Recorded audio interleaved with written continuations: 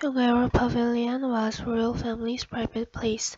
It was used as official grand banquet place.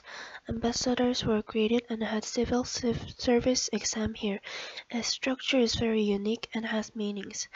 It is composed of 48 supporting stone. 24 stone in the outside is square and the 24 inner ones are round. It is based on the theory of believing the sky is round and ground is square. Also, if you look at the roof, there are many small figurines.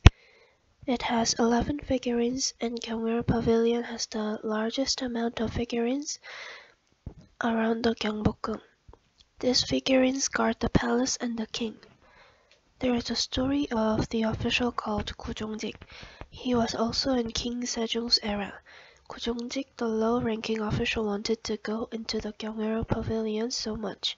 At that time, only royal families were able to enter. He desperately wanted to go in and decided to go in at night. He entered to Gyeonghoeru Pavilion at night secretly. However, suddenly he met King Sejong. King Sejong didn't punish him but asked him if he could memorize all the book called Chunchu. Chunchu was one of the Confucian scriptures. Kujongjik memorized hardly and finally memorized all of them.